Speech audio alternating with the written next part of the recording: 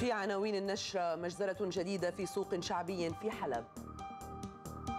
غارات على بياعين الخبز على المدنية. بياعين الأغذية.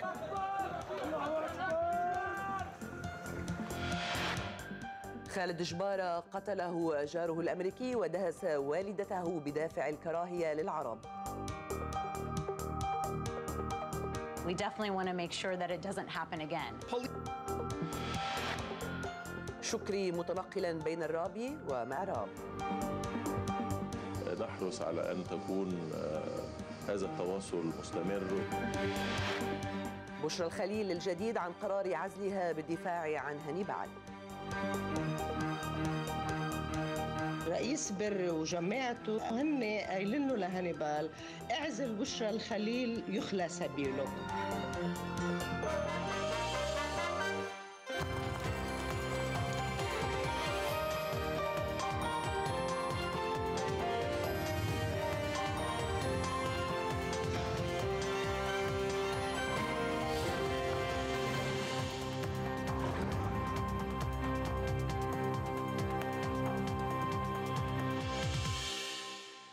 قناة الجديد في بيروت أهلا بكم إلى نشرة الظهيرة. جريمة من نوع الكره والحقد على العرب واللبنانيين. ارتكبها حاقد أمريكي بحق الشاب اللبناني خالد منى حجبارة في أوكلاهوما بالولايات المتحدة. والمجرم جار للضحية الذي يتحدر من مرجعيون. وقد عمد إلى إفراغ رصاصات الحقد في جسده بعد أن دهس والدته المسنة قبل نحو عام بالدافع ذاته. هذا من مآسي الاغتراب اللبناني. أما ضحايا الشعب السوري فلم تعد تحصى أعدادهم لكثرة الجرائم اليومية. وآخرها مجزرة وقعت في سوق شعبي في طريق الباب في حلب جراء غارة شنها الطيران الحربي الروسي بحسب المعارضة المسلحة. ما أوقع عشرات القتلى والجرحى بينهم أطفال ونساء وخمسة أفراد من عائلة واحدة. إذا خالد جبارة لبناني من بين ضحايا خطاب الكراهية في الولايات المتحدة الأمريكية. جريمة كراهية جديدة ترتكب في الولايات المتحدة الأمريكية وهذه المرة ضحيتها الشاب اللبناني خالد جبارة أما القاتل فهو جاره الستيني الذي امتهن التطاول على خالد وعائلته بشتائم وعبارات عنصرية بحق العرب واللبنانيين.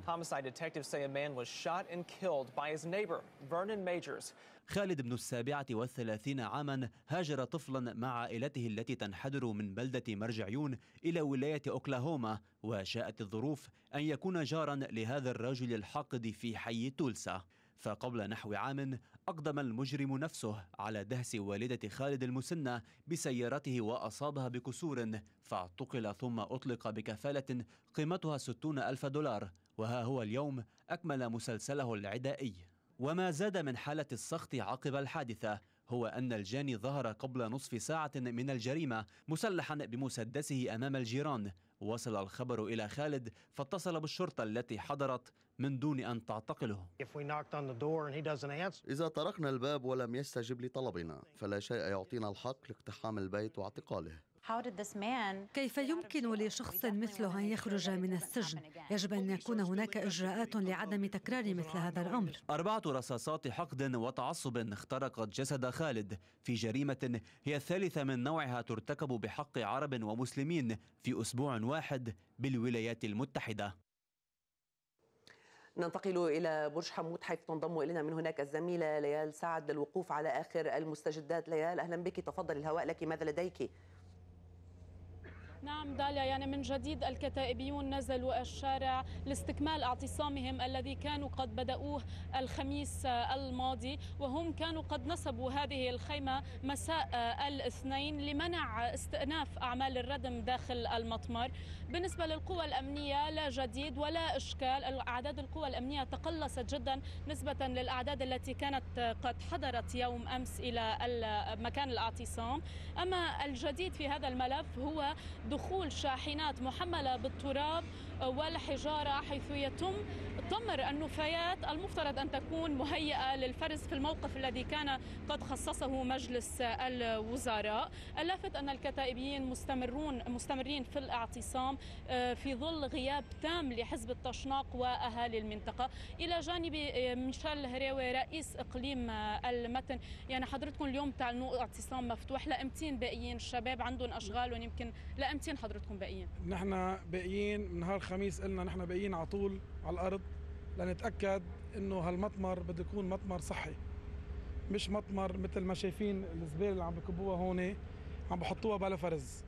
فنحن خي... لا... لنتاكد إنه هالزبالة رح تنفرز ورح تنحط بالمطمر بطريقة صحية ساعتها من فك اعتصامنا. نحن اعتصامنا باقيين. شباب عم بيروحوا بيجوا عم نأمن.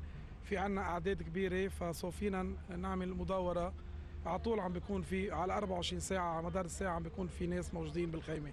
وهي مثل ما قلنا هذه خيمة رمزية بس كرمال آه، وجودنا فيها.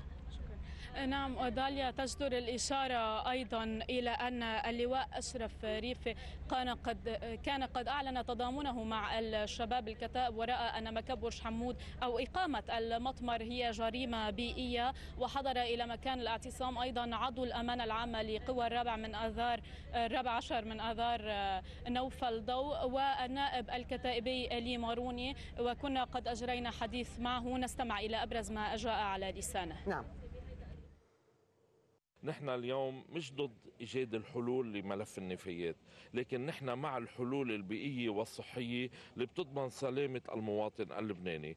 اليوم نحن عندنا ما أخذنا على هذا الملف عندنا ما أخذنا على إقامة المطمر بمياه البحر الأبيض المتوسط وبمدخل بيروت وجبل لبنان. مش لا لمجرد لا نحن كنا عم نتظاهر لنخلص كلنا من ملف النفايات على الطرقات. ما بدنا ملف النفايات يرجع على الطرقات بس ما بدنا الناس تروح على المستشفيات ما بدنا تهجير جديد من المنطقة لأنه عم بيحولوا هيدي المنطقة إلى موئل للأمراض وللروائح الكريهة وللحشرات والزواحف وعم بيحولوا البحر إلى ملوث وعم بيحولونا إلى مشكلة جديدة. في حلول بيئية في حلول صحية. نحن منفتحين على الحوار مع الوزير شهيب عليا ممكن يمر بالطريقة اللي هن معتمدينها. بدنا إياه يمر بطريقة تخدم مصلحة الشعب اللبناني. نحن عم نمنع الدايم لنلاقي إيجاد حل للمؤقت. شكرا اذا للزميلة ليال سعد التي كانت معنا مباشرة من مطمر من محيط مطمر برج حمود. المحامية بشرى الخليل تبلغت أمس قرار موكلها الموقوف هانيبال القذافي عزلها عن الدفاع عنه في ملف اتهامه بكتب معلومات في جريمة تغييب السيد موسى الصدر ورفيقيها الزميلة ليال بوموسى استوضحت القرار وأسبابه من المحامية الخليل وذلك في اتصال عبر الهاتف. بالنسبة للعزل من وكالتي أنا طبعا عندي معطيات حول هذا الموضوع. آه، أنا مثل ما صرحت عندكم من يومين أنه آه، مفترض بعد 31 آب بتصير إجراءات من أجل إخلاء سبيل آه، موكلي هانيبال القذافي فهيدا الموضوع بيظهر عند الرئيس بر وجماعته ولجنة التقصي بموضوع سيد موسى الصدر اللي هن صايرين اخذين موقف عدائي من عدائي حاد يعني لاحظتوا من خلال استحضارات الدعاوى اللي قايمين علي اللهجة العدوانية اللي بيحكوا فيها عني. فاللي فهمته أنا إنه هن قايلين له لهانيبال اعزل بشرى الخليل يخلى سبيلك إنه بشرى الخليل هي العقبة فعزلها هو بيكون سبب لإخلاء سبيلك. آه هيدا صار استغلال الظرف إنه هو مفروض يقترب اخلاء سبيله ما بدهم يعني إنه كأني أنا حققت نصر. طبعا أنا المسألة مش مسألة نصر يعني بالنتيجة عندي ملف بدي كمله عندي موقوف بدي طلعه. وزير الخارجية المصري سامح شكري يتابع زيارته بيروت ويقصد الرابي ومعراب في اليوم الثاني من زيارته لبنان أكد وزير الخارجية المصري سامح شكري عقب لقائه رئيس تكتل التغيير والإصلاح لعماد ميشيل عون أهمية تحقيق الاستقرار في لبنان والخروج من المعادلة الراهنة. وشدد شكري في مؤتمر صحفي على ضرورة الاهتمام بالشأن اللبناني مع ما نشهده في سوريا واليمن والعراق وليبيا والعمل على الدولة المركزية مؤكدا أن هناك اهتماما دوليا وأقليميا بالوضع اللبناني ورغبة في التعامل معه والتوصل إلى حل. وقال سنستمر في العمل واستغلال علاقاتنا مع القوى الدولية لاستكشاف ما يمكن أن يتم لمصلحة لبنان. نحن نتحدث مع كافة الرموز ونتلقى أفكارهم وما يطرحونه من مواقف ولنا أيضا رؤية نطرحها في عليهم ونستقطب ردود أفعالهم اذا يعني هذا مبكر أن نخوض في تفاصيل ولكننا نحرص على أن تكون هذا التواصل مستمر ونعتبر إنه هذه الزياره هي خطوة أولى تستتبع لتناول مثل هذه القضية وتعقيداتها وتشعبها مزيد من الجهد والتواصل. ومن الراب يتوجه شكري إلى معراب حيث التقى رئيس حزب القوات اللبنانية سمير جعجع مكررا سعي مصر من خلال الرؤية الجامعة والتوافق إلى تحقيق الاستقرار في لبنان. وكان رئيس حزب القوات اللبنانية سمير جعجع وصف حوار عين التين بأنه مضيعة للوقت محملا حزب الله مسؤولية عدم إجراء الانتخابات الرئاسية وعرقلتها لأنه لا يريد انتخابات رئاسية في هذا الوقت. وأكد جعجع في حديث لصحيفة الجمهورية أن العلاقة مع الحريري مستمرة كما يجب على المستوى الشخصي لكن هناك خلافا كبيرا حول المرشح لرئاسة الجمهورية معتبرا أن البديل عما يطرحه هو ثورة شعبية كبيرة على الوضع القائم والقوات ستكون على رأس هذه الثورة إذا حصلت. نقل نواب لقاء الأربعاء عن الرئيس نبيه بري أن المطلوب الاتفاق على الحل الشامل بدءا من انتخاب رئيس للجمهورية مؤكدا أن عامل الوقت ليس لصالح الجميع. مزيد من التفاصيل حول أجواء ومواقف الرئيس بري مباشرة من عين التين مع الزميل باسل العريضي. باسل أهلا بك. تفضل الهواء لك طبعا لنقل كافة المعلومات التي رشحت لديكم حول لقاء الأربعاء. تفضل. بداية داليا دعيني أبدأ من اللقاء الذي يعقد في هذه الأثناء في عين التين بين الرئيس نبيه بري ووزير الدفاع سمير مقبل؟ طبعا على جدول الأعمال التعيينات العسكرية خصوصا في ظل المستجدات الأخيرة فيما يتعلق بهذا الملف الذي يأخذ الكثير من الضغط والمشاكل السياسية. فيما يتعلق بلقاء الأربعاء النيابي كما ذكرت داليا أكد الرئيس نبيه بري على أن الوضع لا يحتمل الاستمرار في المراوحة واهتراء المؤسسات وأن المطلوب من الجميع العمل بدءا من موضوع قانون الانتخابات الذي هو الأساس مؤكدا أن الانتخابات النيابية ستكون في موعدها وأن يتم التمرير تحت الظروف. مؤكدا أن الوقت ليس في مصلحة أي أحد. مشيرا في هذا الإطار على أن في حال لم يصل إلى الاتفاق فإن البلاد ذاهبة إلى مفترق طرق بعد على بداية العام المقبل مشيرا في هذا الإطار أيضا إلى الأزمات الاقتصادية الخانقة التي يعاني منها المواطنين ويعاني منها تعاني منها البلاد والتي تزداد يوما بعد يوم مشيرا أن الحل لهذه الأزمات الاقتصادية لا يمكن أن تبصر النور أو لا يمكن إذا يبدو مشاهدينا أن هناك مشكلة تقنية على كل حال نستمع إلى أبرز ما جاء من تصاريح.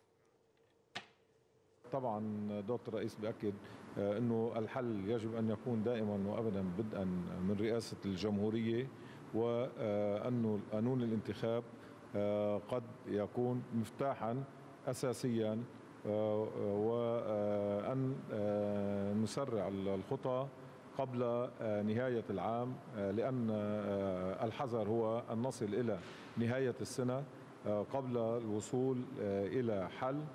شامل متكامل لقضايانا التي تعدت الموضوع السياسي. طبعا موضوع قانون الانتخاب قال دكتور الرئيس قانون الانتخاب هو ما يتم التوافق عليه بين القوى السياسية أيا يكن هذا القانون. ويبقى موضوع النسبية هو أساسي للنقاش بين الفرقاء السياسيين وعلى طاولة الحوار بشكل أساسي.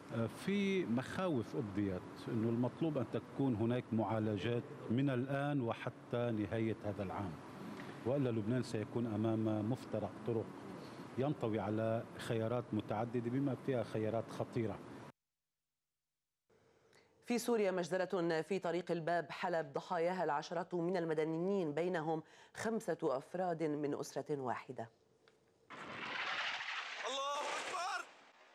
عشرات الضحايا سقطوا بين قتيل وجريح في مجزرة جديدة استهدفت السوق الشعبي في حي طريق الباب في مدينة حلب. نتيجة غارة جوية شنها الطيران الحربي الروسي مستهدفا المدنيين في حيي طريق الباب والصخور مخلفا أضرارا مادية كبيرة وأكثر من ثلاثين قتيلا وعشرات الجرحى بينهم أطفال ونساء وخمسة أشخاص من عائلة واحدة. وتمكن عناصر الدفاع المدني من استخراج الطفل أحمد من تحت الأنقاض ليكون الناجي الوحيد من الأسرة. فيما تواصل الفرق عملها لسحب المصابين الآخرين من تحت الأنقاض.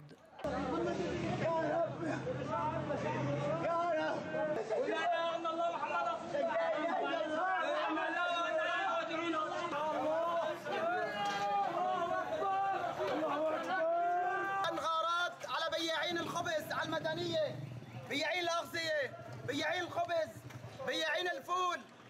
حسبي الله ونعم الوكيل. الله ينتقم منهم.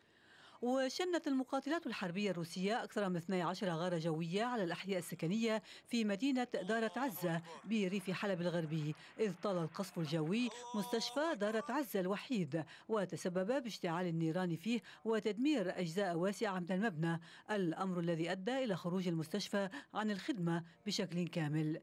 وكالة الأنباء السورية سانا أشارت إلى أن وحدات من الجيش والقوات المسلحة مدعومة بسلاح الجو نفذت ضربات مركزة على تجمعات ومحاور تسلل إرهابيي ما يسمى جيش الفتح وتنظيم داعش في ريف حلب. مصدر عسكري أفاد أن سلاحي الجو والمدفعية في الجيش وجها ضربات مكثفة على مقار وأرتال آليات لإرهابي جيش الفتح أسفرت عن مقتل عشرات الإرهابيين وتدمير عرباتهم وأسلحتهم وذلك في خان طومان وكفر حمراء وغرب المنصورة وفي محيط الكليات العسكرية وتلة بازو جنوب مدينة حلب. ولفت المصدر إلى أن الضربات طالت محاور تسلل إرهابي تنظيم داعش شرقي خناصر في أقصى ريف حلب الجنوبي الشرقي وأسفرت عن تكبيدهم خسائر كبيرة بالأفراد والعتاد. نعود مجددا إلى عين التين للاستماع إلى كلمة لوزير الدفاع سمير مقبل بعد لقائه رئيس مجلس النواب نبيه بري. العسكرية اللي جاية. دايما بنحب نستشير بس بحب وضح شغلة لحتى ما نضل آآ آآ نرجع بالسؤالات وال... أنا كوزير دفاع بحب وضح أنه في عندي مسؤوليات دستورية رح أمشي بموجبها. وفي قوانين مرعية الإجراء كمان رح نطبقها. وفي مثل فرنساوي قلته على بكره رح أرجع راجعه بيقول ابو نون تندور سالو يعني من يسمع يفهم. ما رح نشتغل إلا حسب مسؤولياتنا الدستورية وحسب القوانين دكتور رئيس يعني النتيجة. النتيجة إنه بكرة بمجلس يا سيدي بكرة بكرة بمجلس الوزراء أنا طارح قضية أمين العام لمجلس الأعلى للدفاع حيث بعشرين هالشهر بيستحق بده يروح على التقاعد. وبعد في عنده سنة حسب القوانين وحسب الدستور طارح أنا ثلاث أسامي للتعيين. في حال إنه ما صار في اتفاق بمجلس الوزراء بالتلتين لتعيين أي شخص أنا اليوم واجباتي القانونية والدستورية بدي أخذها ما بقبل أي شغور لا بالمجلس العسكري ولا بقيادة الجيش. هل هذا الأمر بحاجة إلى إجماع داخل مجلس الوزراء في ظل الشهور؟ ما سمعت. هل هذا الأمر بحاجة إلى إجماع مجلس الوزراء في ظل الشهور؟ طبيعة. أول ما يكون في تعيين دائما مش إجماع. تلتين مجبور يكون في تلتين لحتى يتعين أي شخص. يعني تصويت نعم. يعني يخضع للتصويت هذا الموضوع يعني صلاحيتك دولة الرئيس بالاتجاه إما تمديد أو اختيار الاسم أو بأي اتجاه يعني هيدا ممكن يكون مؤشر لا لا لا لا هذا مش مؤشر لأي شيء. نحن اليوم عم نمشي حسب ال ال ال الدستور وحسب القانون الموجود. نحن أنا واجباتي أطرح ثلاث أسامي للتعيين. في حال إنه ما جمع ثلثين الأصوات بمجلس الوزراء ليعينوا أي شخص بترجع هيدي الصلاحيات لوزير الدفاع حسب المادة 55 من قانون الدفاع بصير له صلاحية إنه هو يطلع قرار بتجديد آه، تسريح الضابط. شو يتعلق بقياده الجيش ورئيس الأركان؟ ما يتعلق بقيادة الجيش ورئيس الأركان.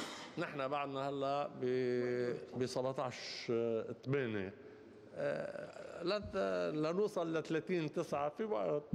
على كل حال يا سيدي يلي بيطبق هلا رح يتطبق بعدين. ذات القضية.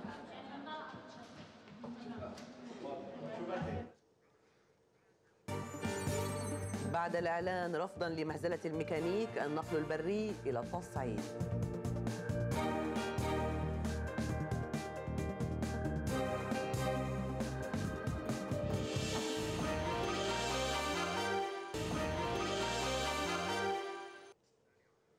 أهلا بكم من جديد. سلم الفلسطينيان شراع واحمد بدر شقيقا القيادي الإسلامي المتشدد بلال بدر نفسيهما إلى مخابرات الجيش اللبناني في ثكنة محمد زغيب العسكرية في صيدا وهما مطلوبان بعدة مذكرات توقيف بتهمة الانتماء لمجموعات إرهابية. وكان الفلسطيني غالب حجير قد سلم نفسه إلى مخابرات الجيش في الثكنه ذاتها. فيما قام الفلسطيني طارق الشهابي بتسليم نفسه إلى الأمن العام عند حاجز مخيم عين الحلوة. والشهابي وهو ابن شقيق الشيخ أسامة الشهابي مسؤول إحدى الجماعات الإسلامية المتشددة في مخيم عين الحلوة.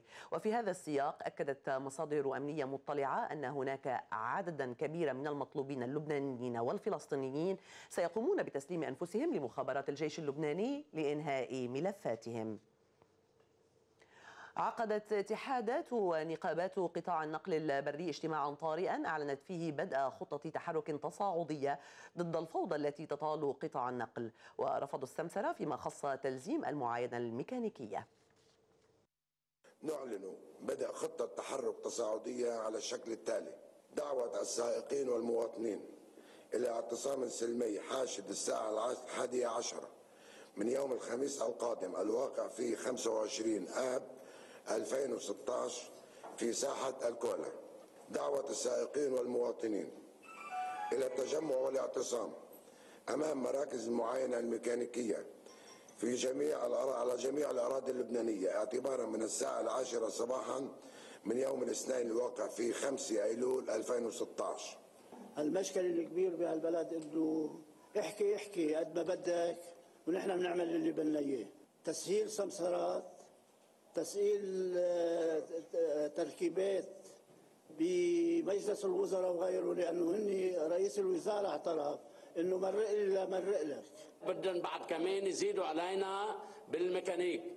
نحن ما بندفع ولا قرش زيادة بالميكانيك. لو شو ما صار بدهم يزيدوا علينا حق نغير نمر السيارة ندفع حق النمرة. نحن ما بدنا نغير النمرة عجبتنا حلوة كثير لونها أبيض بتجنن النمرة ما بدنا نغيرها.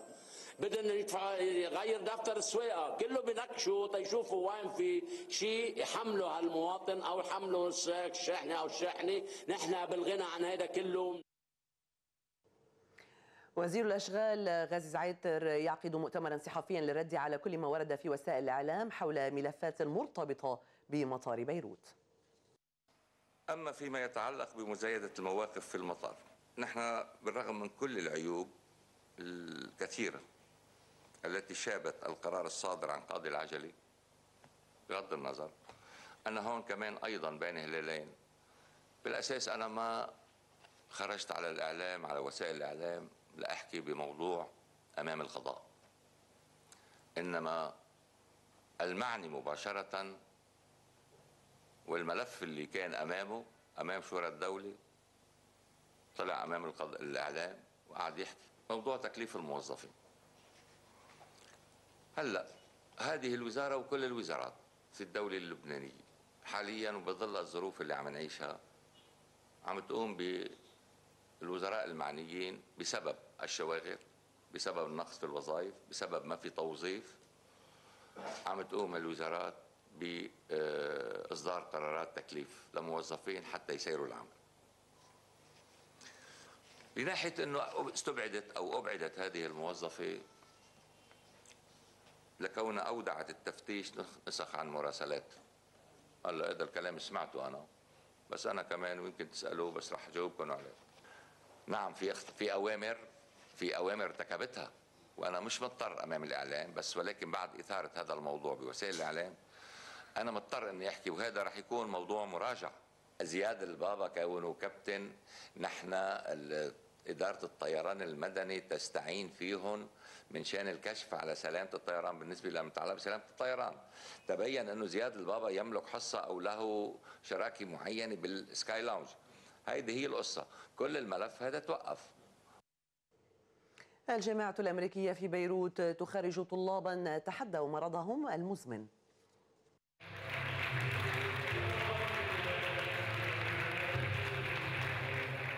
27 شهادة وزعت على تلاميذ يتابعون علاجهم من مرض السرطان فمشوا على مسار الفرح في حفل تخرج نظمه مركز سرطان الأطفال في الجامعة الأمريكية في بيروت سان جود للسنة الخامسة على التوالي. وذلك برعاية وزير التربية والتعليم العالي الياس بوصعب وبحضور وزير الصحة وائل أبو فعور بوصاب في كلمته أكد عدم استسلامه أمام عجز الحكومة وأمام ملفات كثيرة كالفساد والنفايات مشيرا إلى أن إجراء الامتحانات الرسمية في مركز سرطان الأطفال هو استكمال لما الوزراء السابقون. أنا بدي أشكر سانجود أنه أتاحوا لنا الفرصة بوزارة التربية ومش الفضل لإلي الفضل للوزراء اللي سبقوني.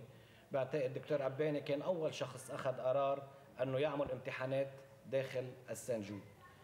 بس اللي أنا اكتشفته واللي أنا وقفته واللي راح أرجع أتعاون مع الوزير أبو فاور لأنه عندي شكاوى عن بعض الدكاترة اللي كانت عم بتتاجر بملفات معينة واتفقنا رح نلاحقهم إنه في بعض الطلاب اللي هن ما بهم شيء بيروحوا بيقدموا على اعفاء من الامتحانات الرسمية بطريقة مزورة وما لهم حق فيها وبعض الحكماء وللأسف عندي حاله هلا بعد ما حكيت مع الوزير أبو فاور فيها بعض المستشفيات متورط إنه يعطوا تقارير مزورة كرمال يعفوا طلاب.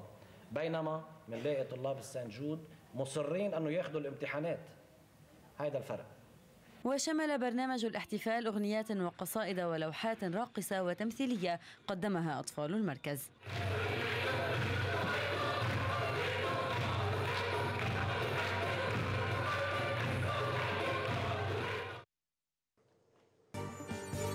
هجوم داعشي واسع على البشمركة في النشرة بعد الإعلان.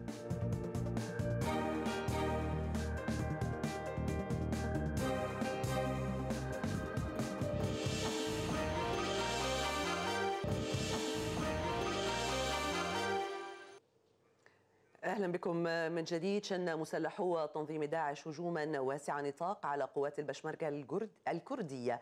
في الساعات الأولى من صباح اليوم جنوبي مدينة كركوك الواقعة شمالي العراق. وكانت قوات البشمركه أحكمت في وقت سابق سيطرتها على معاقل داعش جنوبي كركوك مستعينة بدعم جوي من طائرات التحالف الدولي. كما تدور معارك عنيفة لليوم الخامس على التوالي بين القوات العراقية ومقاتلي داعش في محيط بلدة القيارة جنوبي الموصل في محاولة لاقتحامها وطرد التنظيم الارهابي منها. أصدرت تركيا اليوم مرسومين بمقتضى حالة الطوارئ المفروضة في البلاد يقضيان بعزل أكثر من 2000 من ضباط الشرطة ومئات من جنود الجيش ومن العاملين بهيئة تنظيم الاتصالات ردا على محاولة الانقلاب التي وقعت الشهر الماضي. ونشر المرسومان في الجريدة الرسمية ويتضمنان أيضا قرارا بإغلاق إدارة للاتصالات وقرارا آخر يعين بمقتضاه رئيس الدولة قائد القوات المسلحة. كان في النشر مجزرة جديدة في سوق شعبي في حلب. غارات على بياعين الخبز على المدنية. بياعين الأغذية.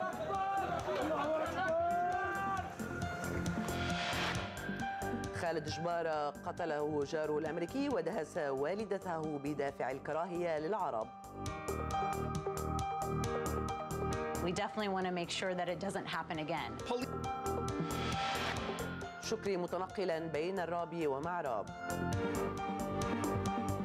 نحرص على أن تكون هذا التواصل مستمر. بشرى الخليل الجديد عن قرار عزلها بالدفاع عن هانيبال. رئيس بري وجماعته هن قايلين له لهانيبال. اعزل بشرى الخليل يخلى سبيله. لكل جديد تابعونا على موقعنا www.aljadeed.tv وعلى صفحتنا على فيسبوك الجديد اونلاين وعلى تويتر الجديد News كان هذا كل شيء حتى الساعة. شكرا لطيب المتابعة وإلى اللقاء.